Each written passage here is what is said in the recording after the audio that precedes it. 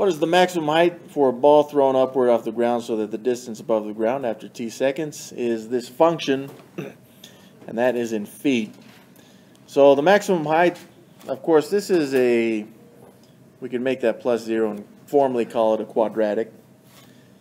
And it should look something like this, right? that was really ugly, but maybe something like that. uh, what this means is that we have a parabola, and if we can find the vertex of that parabola, we'll know the maximum height of the ball.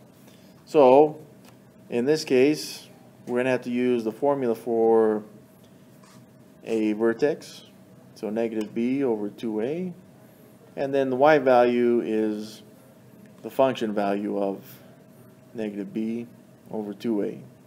So hopefully this one doesn't look too new. All right, so let's find uh, negative b over 2a stuff. And in this case, the b value is 32. And the a value is uh, negative 16. So if I evaluate this, looks like I get, well, yeah, that's positive 1 actually. So there's my x value for the vertex.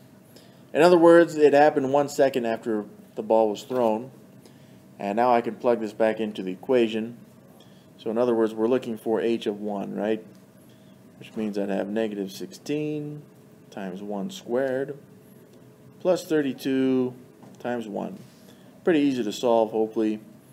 That would be negative 16 plus 32. So the height after one second would be 16 feet.